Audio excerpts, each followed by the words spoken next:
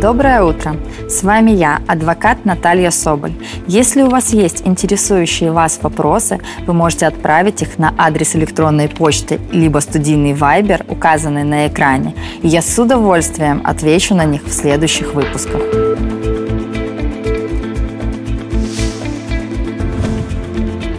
Могут ли родители, имеющие трех и более детей, претендовать на дополнительный свободный от работы день?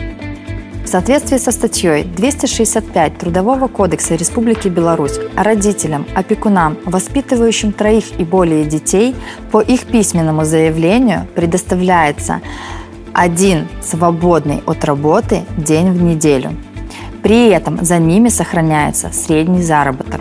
Дополнительный свободный от работы день по согласованию с нанимателем, если это не препятствует нормальному функционированию организации, может быть заменен сокращением рабочего дня либо смены на один час с сохранением заработной платы. Воспользоваться свободным днем либо сокращением работы может любой родитель. Для оформления свободного дня, сокращения работы необходимо написать заявление по месту работы и предоставить следующие документы. Свидетельство о рождении детей, справку с места жительства и о составе семьи, справку о занятости второго родителя. Это может быть справка с места работы второго родителя, либо справка с учебного заведения, в котором второй родитель обучается.